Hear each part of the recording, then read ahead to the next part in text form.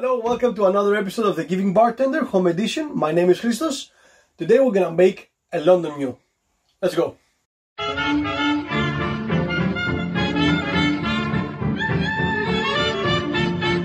So to make the London Mule is very simple, uh, but there's also a lot of history behind it.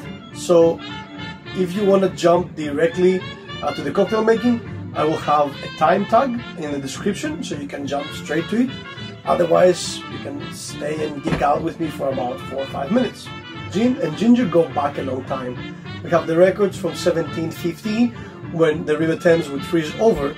There would be the Frost Fest, where vendors would go and set up shop on the frozen uh, riverbed and they would sell gingerbread and hot gin to, to the Londoners. Uh, this practice became so famous and so profitable that uh, it became a thing in the 1730s to find these products sold in the streets of London.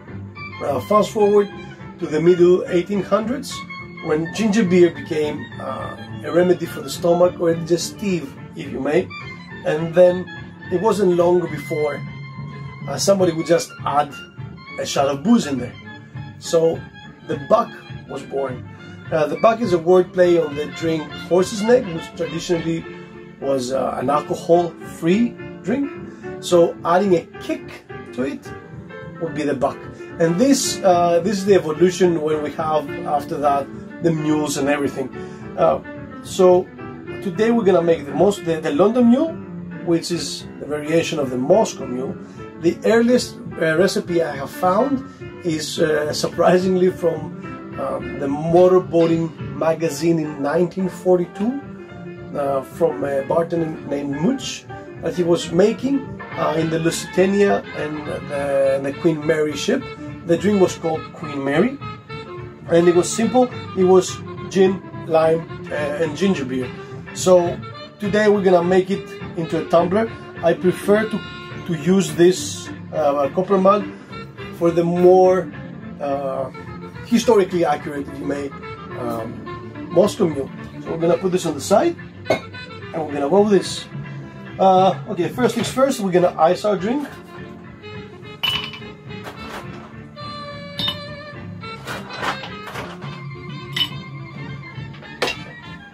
We need half a lime or 15 ml of lime juice.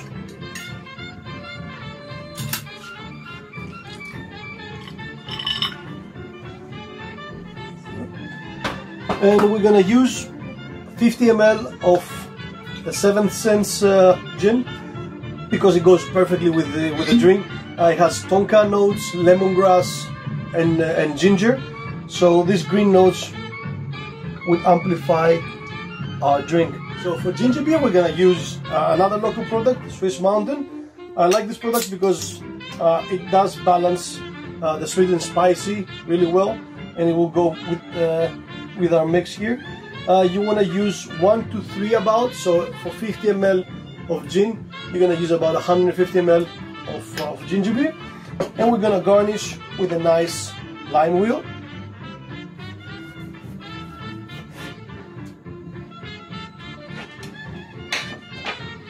And there you have it.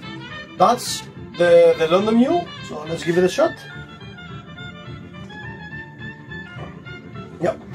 So it is the perfect combination between sweet, sour, and spicy, and it has a nice kick.